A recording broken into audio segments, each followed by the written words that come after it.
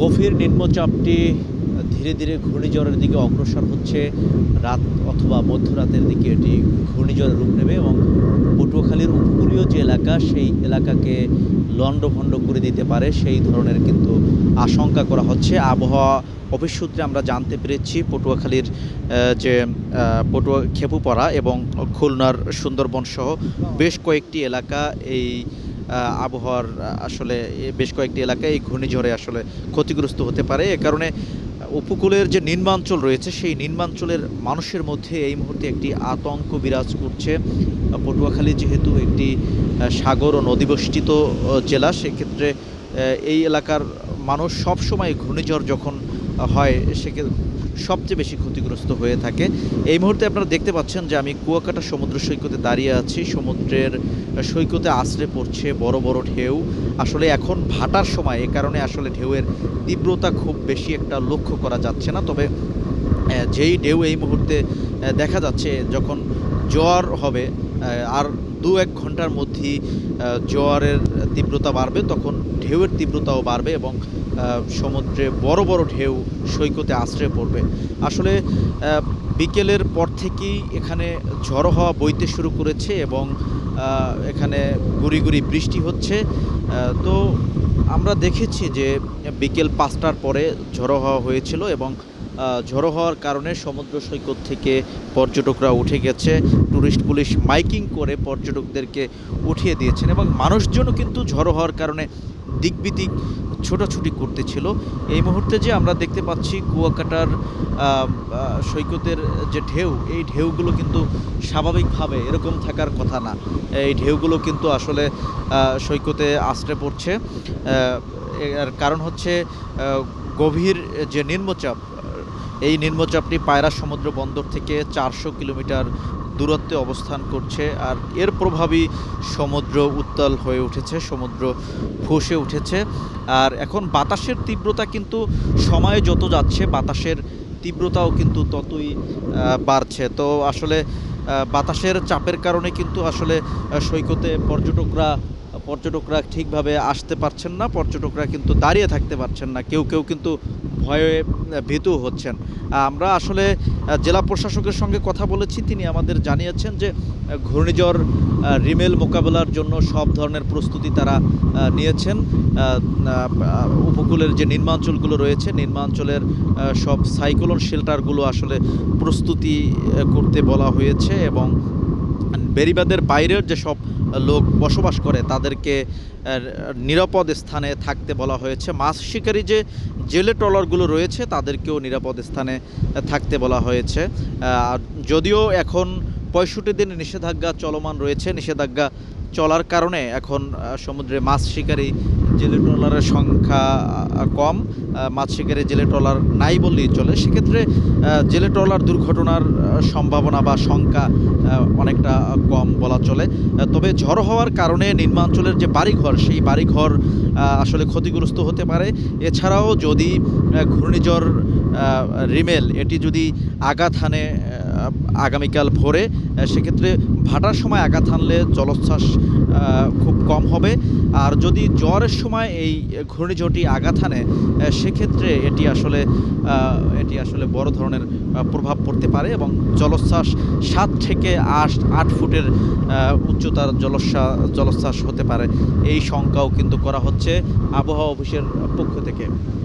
তো পটুয়াখালীতে যতবার ঘূর্ণিঝড় হয়েছে, সব ঘূর্ণিঝড়েই কিন্তু খুব ক্ষতিগ্রস্ত হয়েছে এখানকার মানুষজন। এর কারণ হচ্ছে যেহেতু এটি সমুদ্র উপকূলবর্তী এলাকা, প্রতিটি ঘূর্ণিঝড়েই এখানে প্রভাব পড়ে এবং স্থানীয় মানুষের জানমালের ব্যাপক ক্ষয়ক্ষতি হয়। তো আসলে কুয়াকাটাতে এই মুহূর্তে যে পরিমাণ ঝড় হওয়া এবং বাতাস রয়েছে তাতে আসলে বোঝাই যায় যে ঘূর্ণিঝড় রিমেল যখন যখন আঘাত হানবে, তখন আসলে উপকূল কতটা ক্ষতিগ্রস্ত হবে, উপকূলে কতটা প্রভাব পড়বে সেটি কিন্তু আসলে স্বাভাবিকভাবেই কিন্তু আসলে বোঝা যাচ্ছে। তো আমরা দেখতে পাচ্ছি যে এই মুহূর্তে কুয়াকাটা, সৈকতে পর্যটক সহ স্থানীয়রা দেখার জন্য এসেছেন। তারা আসলে দেখছেন যে ঘূর্ণিঝড়ের প্রভাব কতটা চলছে এবং সমুদ্রে ঢেউয়ের তীব্রতা কি পরিমাণ? সমুদ্র কতটা ফুসে উঠেছে এটি দেখার জন্য কিন্তু পর্যটক এবং স্থানীয়রা এখানে ভিড় জমিয়েছেন। যদিও কিছুক্ষণ পূর্বে গুড়ি গুড়ি বৃষ্টি ছিল, এখন বৃষ্টি একটু কমেছে, তবে বাতাসের তীব্রতা কিন্তু অনেকটা দেখা যাচ্ছে। এর আগে যদিও বাতাসের তীব্রতা আর দশ মিনিট আগে বা বিশ মিনিট আগে বাতাসের তীব্রতা এর চেয়েও বেশি ছিল, তো এই মুহূর্তে কুয়াকাটার যে সমুদ্র সৈকতের অবস্থা তা দেখে আসলে বোঝা যাচ্ছে যে ঘূর্ণিঝড় রিমেল যখন আঘাত হানবে তখন কতটা ভয়ঙ্কর হতে পারে এবং উপকূলে আছড়ে পড়লে মানুষের জানমালের কতটা ক্ষতি হতে পারে সেটা কিন্তু আসলে বোঝা যাচ্ছে। আর ঘূর্ণিঝড় জগ যখন আঘাত হানে, তখন বাতাসের তীব্রতা অনেক বেশি থাকে। আর ঘূর্ণিঝড় আঘাত হানার সময় যদি জ্বরের চাপ থাকে, সেক্ষেত্রে জলোচ্ছ্বাসের বড় একটা সংখ্যা থাকে। আমি যদি একটু অবগত করে রাখি, সেটি হচ্ছে পটুয়াখালী জেলায় বেশ কয়েকটি চরাঞ্চল রয়েছে, যেখানে বেরিবাঁধ সাইক্লোন শেল্টার বা কোনো নিরাপত্তার কোনো ব্যবস্থা নেই, সেই দ্বীপের মানুষরা কিন্তু আজ রাতেও আতঙ্কে নির্ঘুম রাত কাটাবেন। এর কারণ হচ্ছে কখন ঘূর্ণিঝড় আঘাত হানে আর কখন তাদের জানমাল কেড়ে নেয় সেই আতঙ্কে কিন্তু তাদের দিন কাটবে। মালামাল রয়েছে, সেগুলোর মায়ায় তারা কিন্তু আসলে তারা কিন্তু আসলে খুব সহজে আশ্রয় কেন্দ্রমুখী হয় না। তো যখন ঘূর্ণিঝড়ের তীব্রতা বেড়ে যায়, তখন আসলে তাদেরকে আশ্রয় কেন্দ্রমুখী হতে দেখা যায়। যদিও জেলা প্রশাসকের পক্ষ থেকে বলা হয়েছে যে, সতর্ক সংকেত বাড়ার সঙ্গে সঙ্গে উপকূলের নিম্ন এলাকার মানুষদেরকে নিরাপদ স্থানে, অর্থাৎ সাইক্লোন শেল্টারে আশ্রয় নিতে বলা হয়েছে এবং সব সাইক্লোন শেল্টারগুলোকে খুলে দেওয়ার জন্য নির্দেশনা দেওয়া হয়েছে।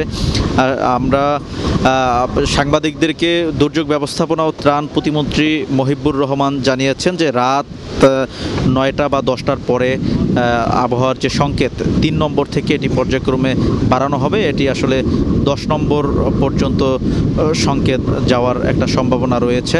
এটি আমাদেরকে তিনি জানিয়েছেন যে এখন কুয়াকাটা সহ উপকূলের যে এলাকাগুলো রয়েছে, সেই এলাকাগুলোতে কিন্তু বাতাসের তীব্রতা অনেকটা লক্ষ্য করা যাচ্ছে। আর আপনারা দেখতেই পাচ্ছেন যে পটুয়াখালীর যে কুয়াকাটা সমুদ্র সৈকত, এই সৈকতে কিন্তু ঢেউ আশ্রে পড়ছে এবং জোয়ারের তীব্রতা যখন বাড়বে, অর্থাৎ আর এক ঘণ্টার মধ্যেই এখানে জোয়ার শুরু হবে। জোয়ার শুরু হলে আমরা যেই জায়গাটিতে দাঁড়িয়ে রয়েছি, এই জায়গাটিতে কিন্তু মানুষ দাঁড়াতে পারবে না। এখানে ঢেউ আশ্রে পড়বে। গতকাল যেটি আমরা লক্ষ্য করেছিলাম, তো আজও কিন্তু সেরকমেরই ঘটনা ঘটতে পারে বা তার চেয়েও বেশি পানি উঠতে পারে সেই ধারণা করছেন স্থানীয়রা। আমরা এখানে পানি উন্নয়ন বোর্ডের কর্মকর্তাদের সঙ্গে কথা বলেছি। পানি উন্নয়ন বোর্ড আমাদেরকে যেটি জানিয়েছেন সেটি হচ্ছে সৈকতে যদি ঢেউ আসতে পড়ে, সেক্ষেত্রেও তাদের সৈকতের যে সৈকতে আসলে ক্ষতির আশঙ্কা নেই। যেহেতু এখানে জিও টিউব জিও ব্যাগ দিয়ে বাঁধ রক্ষা করা হয়েছে, সেক্ষেত্রে বড় ধরনের প্রভাব পড়ার আসলে শঙ্কা তারা করছেন না। তবে আবহাওয়া অধিদপ্তর পায়রা সমুদ্র বন্দর সহ দেশের যে সমুদ্র বন্দরগুলো রয়েছে, সেই সমুদ্র বন্দরগুলোকে তিন নম্বর সতর্ক সংকেত জারি রাখতে বলেছেন। পরবর্তী নির্দেশনা দেওয়ার আগ পর্যন্ত তিন নম্বর সতর্ক সংকেত জারি থাকবে। তবে ধারণা করা হচ্ছে রাত নয়টার পরে এই আবহাওয়ার যে সংকেত, এই সংকেত আসলে বাড়তে পারে। সংকেত বাড়ানোর একটা সম্ভাবনা রয়েছে। আর ঘূর্ণিঝড় এখনও ঘূর্ণিঝড় সৃষ্টি হয়নি। এখনও পর্যন্ত গভীর নিম্নচাপ রয়েছে বঙ্গোপসাগরে। ঘূর্ণিঝড় রূপ নিলে এটি নিতে পারে রাত নয়টা অথবা দশটার দিকে। আবহাওয়ার বুলেটিনে আমরা সেই তথ্য আপনাদের জানাব। তবে এখনও পর্যন্ত কিন্তু গভীর নিম্নচাপ রয়েছে। বাতাসের চাপও রয়েছে এবং উপকূলীয় এলাকায় মাঝে মধ্যে জড়ো হওয়া বইছে। অর্থাৎ আধা ঘণ্টা পর পর, বিশ মিনিট পর পর বা দশ মিনিট পর পর হঠাৎ হঠাৎ ঝড়ো হওয়া বইছে। এই ঝড়ো হওয়া কিন্তু পাঁচ থেকে দশ মিনিট মিনিট স্থায়ী হচ্ছে, আবার কখনো কখনো দুই মিনিট, তিন মিনিটও স্থায়ী হচ্ছে। তো হঠাৎ ঝড়ো হওয়ার কারণে কিন্তু মানুষের মধ্যে একটা আতঙ্ক আছে। এই মুহূর্তে আসলে বৃষ্টি হচ্ছে। আপনারা দেখতে পাচ্ছেন যে সৈকতে থাকা যে পর্যটকরা, হালকা গুড়ি গুড়ি বৃষ্টির কারণে তারা ছুটছেন। আসলে তারা ছুটছেন দিক বিদিক ছোটাছুটি করছেন। তারা এখানে যারা দাঁড়িয়ে ছিলেন, তারা ভেতরে কোনো নিরাপদ জায়গায় ঢুকছেন যাতে বৃষ্টি থেকে রক্ষা পাওয়া যায়। এই মুহূর্তে গুড়ি গুড়ি বৃষ্টি হচ্ছে আর এই বৃষ্টি সঙ্গে বাতাসের চাপও রয়েছে। আর সেই সঙ্গে জ্বর কিন্তু ঘনিয়ে আসছে, জোয়ারের চাপও বাড়ছে, জোয়ারের চাপ বাড়লে এখানে পানির চাপও বাড়বে, পানির চাপ বাড়লে এই স্থানটিতে আমরা যেখানে দাঁড়িয়ে আছি এই মুহূর্তে, এই জায়গাটিও আসলে ডুবে যেতে পারে, সেই শঙ্কা করা হচ্ছে। তো এখানে আপনারা দেখতেই পাচ্ছেন যে বাতাসের তীব্রতার সঙ্গে ঢেউয়ের তীব্রতাও কিন্তু দেখা যাচ্ছে।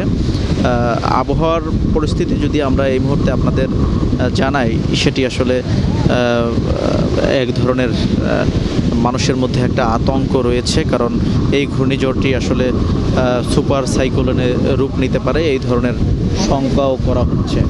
তো আপনারা আসলে জানেন যে এবারের যে ঘূর্ণিঝড়টি এই ঘূর্ণিঝড়টি সিডর আয়লার মতো আহ, প্রলয়ঙ্কারী হতে পারে। সেই সম্ভাবনাও কিন্তু আবহাওয়া অধিদপ্তরের পক্ষ থেকে জানানো হয়েছে এবং দুর্যোগ ব্যবস্থাপনা ও ত্রাণ মন্ত্রণালয়ের পক্ষ থেকে নির্দেশনা দেওয়া হয়েছে। নির্দেশনা দেওয়া হয়েছে এই ঘূর্ণিঝড় মোকাবেলার জন্য সকল স্বেচ্ছাসেবী এবং যারা মাঠ পর্যায়ের কর্মকর্তা রয়েছেন, সব কর্মকর্তাদেরকে নির্দেশনা দেওয়া হয়েছে। আসলে পূর্ব মধ্য বঙ্গোপসাগর ও তৎসংলগ্ন পশ্চিম মধ্য বঙ্গোপসাগর এলাকায় অবস্থানরত গভীর নিম্নচাপটি উত্তর দিকে অগ্রসর ঘূর্ণিঝড়টি পায়রা সমুদ্র বন্দর থেকে এই মুহূর্তে কতটা দূরে অবস্থান করছে। আর গভীর নিম্নচাপ কেন্দ্রের আটচল্লিশ কিলোমিটার মধ্যে বাতাসের একটানা সর্বোচ্চ গতিবেগ ঘন্টায় পঞ্চাশ কিলোমিটার, যা ধমকা, ঝড় হওয়ার আকারে ষাট কিলোমিটার পর্যন্ত বৃদ্ধি পাচ্ছে গভীর নিম্নচাপ কেন্দ্রের নিকটবর্তী এলাকায় যেমন কুয়াকাটা সহ আশপাশের এলাকায় সাগর উত্তল রয়েছে। তো আসলে আপনারা জানেন যে এই মুহূর্তে কুয়াকাটার যে অবস্থা, সেটি আসলে দেখে বোঝাই যায় ঘূর্ণিঝড়ের একটি পূর্বাভাস। ঘূর্ণিঝড় যখন হয় তখন ঘূর্ণিঝড়ের আগ মুহূর্তে এভাবেই জড়ো হওয়া এবং গুড়ি গুড়ি বৃষ্টির দেখা মেলে, এটি কিন্তু ঘূর্ণিঝড়ের সম্ভাবনার একটি বিষয়। তো সেটি কিন্তু আমরা আসলে লক্ষ্য করছি বিকেল পাঁচটার পর থেকে। তো এবারের যে ঘূর্ণিঝড়, এই ঘূর্ণিঝড়টি কিন্তু সুপার সাইক্লোনে রূপ নিতে পারে। আমরা আসলে দেখেছি বিকেল পাঁচটার পরে যখন ঝড়ো হওয়া শুরু হয়, পর্যটকরা দিক পর্যটকরা দিক বিদিক ছোটাছুটি করতে শুরু করে। আর এই ঘূর্ণিঝড়ের কারণে এই মুহূর্তে তিন নম্বর সতর্ক সংকেত জারি রয়েছে। তিন নম্বর সতর্ক সংকেত দুপুর বারোটার পর থেকেই দেওয়া হয়েছিল। সেটি কিন্তু এখন অব্যাহত রয়েছে। তবে এই সিদ্ধান্ত নতুন করে আবহাওয়ার বুলেটিন যখন দিবে সে তখন বলা যাবে যে সতর্ক সংকেত বাড়ানো হচ্ছে কিনা। তবে দুর্যোগ ব্যবস্থাপনা ত্রাণ প্রতিমন্ত্রী অধ্যক্ষ মহিবুর রহমান তিনি সাংবাদিকদেরকে নিশ্চিত করেছেন রাতের দিকে আবহাওয়ার যে সতর্ক সংকেত, সেই সতর্ক সংকেত বাড়ানো হবে। অর্থাৎ দশ নম্বর সতর্ক সংকেত দেওয়ারও একটা সম্ভাবনার কথা তিনি জানিয়েছেন। সেক্ষেত্রে আরও একটি বিষয় আবহাওয়ার বুলেটিনে বলা হয়েছে যে দেশের দশ জেলার উপর দিয়ে রাত একটা ফরিদপুর পটুয়াখালী, কুষ্টিয়া, বরিশাল, নোয়াখালী, কুমিল্লা এবং চট্টগ্রাম অঞ্চল রয়েছে এর মধ্যে। দক্ষিণ পূর্ব দিক থেকে ঘন্টায় পঁয়তাল্লিশ থেকে ষাট কিলোমিটার বেগে অস্থায়ীভাবে ধম অস্থায়ীভাবে দমকা অথবা ঝড়ো হওয়া সহ বৃষ্টি বজ্র বৃষ্টি হতে পারে। এ কথাও কিন্তু আবহাওয়ার পূর্বাভাসে বলা হয়েছে। তো আসলে এই মুহূর্তে আমরা কিন্তু আপনাদেরকে কুয়াকাটা সমুদ্র সৈকত থেকে দেখাচ্ছি যে ঘূর্ণিঝড় যদি আঘাত হানে, সেক্ষেত্রে ঘূর্ণি, সেটি কী ধরনের রূপ নিতে পারে, সেটি আমরা আসলে আপনাদেরকে জানাচ্ছিলাম। এবং একটু আমি বিষয় আপনাদেরকে জানাতে চাই, সেটি হচ্ছে পটুয়াখালী যেহেতু সমুদ্র উপকূলবর্তী জেলা, এই জেলার বেশ কয়েকটি দ্বীপ অঞ্চল রয়েছে যেগুলো একেবারে সমুদ্র তীরবর্তী, যেখানে বেরিবাদ সাইক্লোন শেল্টার কোনো কিছুই নেই। সেই দ্বীপের মানুষ ঘূর্ণিঝড়, আঘাত হানলে সবচেয়ে বেশি ক্ষতিগ্রস্ত হয়ে থাকে। তো সেই দ্বীপের মানুষ কিন্তু এখন নির্ঘুম রাত কাটাচ্ছেন এবং আরও একটি বিষয় সেটি হচ্ছে উপকূলীয় জেলা, এই জেলাতে অন্তত একশো কিলোমিটার বেরিবাঁধ বিধ্বস্ত রয়েছে, যা দীর্ঘদিনও মেরামত কিংবা সংস্কার করা হয়নি, সেই বেরিবাঁধ দিয়ে পানি যখন স্বাভাবিকের চেয়ে দুই থেকে তিন ফুট বৃদ্ধি পায়, তখনই পানি প্রবেশ করে লোকালয়ে। আর লোকালয়ে পানি প্রবেশ করার কারণে কিন্তু আসলে মানুষের যান মালের ব্যাপক ক্ষয়ক্ষতি হয় এবং মানুষের ব্যাপক ভোগান্তি পোহাতে হয়। তো যদি ঘূর্ণিঝড় আঘাত হানে এবং পান- পানির উচ্চতা স্বাভাবিকের চেয়ে দুই থেকে তিন ফুট বেশি বৃদ্ধি পায়, সেক্ষেত্রে মানুষের জানমালের ব্যাপক ক্ষয়ক্ষতি হতে পারে। ভাঙা ভাঙা যে বেরিবাঁধ এই বেরিবাঁধ দিয়ে পানি প্রবেশ করে মানুষের ব্যাপক ক্ষয়ক্ষতি হতে পারে সেই আশঙ্কা কিন্তু করা হচ্ছে। তো পটুয়াখালীর আটটি বিচ্ছিন্ন দ্বীপ রয়েছে, যেই দ্বীপগুলোতে একেবারেই বেরিবাঁধ নেই। সেই দ্বীপগুলোতে বসবাস করছে অন্তত তিরিশ থেকে চল্লিশ হাজার মানুষ। সেই মানুষের জীবনের নিরাপত্তা কিন্তু একেবারেই নেই। তবে দুর্যোগ ব্যবস্থাপনা ও ত্রাণ মন্ত্রণালয়ের পক্ষ থেকে সেসব মানুষদেরকে নিরাপদ স্থানে সরিয়ে নেওয়ার জন্য বলা হয়েছে। আমি একটু বিষয় অবগত করি, সেটি হচ্ছে পটুয়াখালী জেলাটিতেই দুর্যোগ ব্যবস্থাপনা ও ত্রাণ মন্ত্রণালয়ের প্রতিমন্ত্রী মহিবুর রহমানের বাড়ি। তো এই জেলায় যেহেতু দুর্যোগ প্রতিমন্ত্রীর জন্ম। সেক্ষেত্রে এখানকার উপকূলীয় এই জেলায় বেড়ে ওঠা প্রতিমন্ত্রী তিনি উপকূলের মানুষের জানমাল রক্ষায় কার্যকরী পদক্ষেপ নেবেন, সেই প্রত্যাশা করছেন স্থানীয়রা। এই মুহূর্তে কিন্তু বৃষ্টি হচ্ছে, আবারও গুড়ি গুড়ি বৃষ্টি হচ্ছে। আমরা বৃষ্টির মধ্যেই কিন্তু আপনাদেরকে আবহাওয়ার সবশেষ তথ্য জানাচ্ছি এবং বৃষ্টির সঙ্গে এখানে কিন্তু ঝড়ো হাওয়াও কিন্তু, ঝড়ো হাওয়াও কিন্তু আসলে আমরা দেখতে পাচ্ছি, লক্ষ্য করতে পাচ্ছি। তো আপনারা দেখতেই পাচ্ছেন যে এই মুহূর্তে কিন্তু আহ, বৃষ্টি হচ্ছে। এই বৃষ্টির কারণে সৈকতে কিন্তু এখন পর্যটকের দেখা মিলছে না, পর্যটক নেই, পর্যটকরা নিরাপদ স্থানে চলে গেছে। এভাবে করে কতক্ষণ পর পরে বৃষ্টি হয় জড়ো হওয়া হয়, এভাবেই কিন্তু দুপুরের পর থেকে চলছে জড়ো হওয়া বৃষ্টি। এর মধ্যে দিয়েই কিন্তু আসলে আবহাওয়া যাচ্ছে। তো পটুয়াখালীর কুয়াকাটার সমুদ্র সৈকতে বৃষ্টির প্রভাবে এই ঘূর্ণিঝড়ের প্রভাবে বৃষ্টি ঝড়ো হওয়া দুটি কিন্তু হচ্ছে। আর বৃষ্টি ঝড়ো হওয়া এই মিলে মানুষের মধ্যে আতঙ্ক কিন্তু বেড়েই চলছে। ধারণা করা হচ্ছে রাতের গভীরতা যত বাড়বে, ঘূর্ণিঝড়ের যে ভয়াল তাণ্ডব সেটিও বৃদ্ধি পাবে।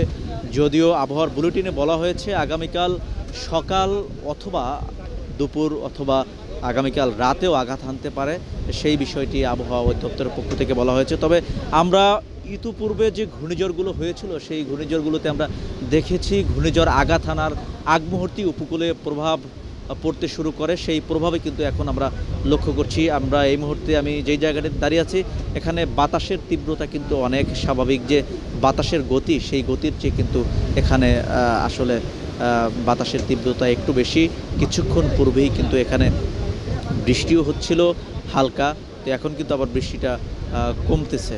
তো এভাবে যে বৃষ্টি এবং ঝড়ো হওয়া হচ্ছে, এটি দুই থেকে তিন মিনিট স্থায়ী হচ্ছে, কখনো কখনো পাঁচ মিনিট থেকে দশ মিনিট স্থায়ী হচ্ছে তো অস্থায়ীভাবেই কিন্তু এগুলো হচ্ছে। তো আসলে পটুয়াখালীর কুয়াকাটা থেকে এতটুকুই ছিল আমার কাছে।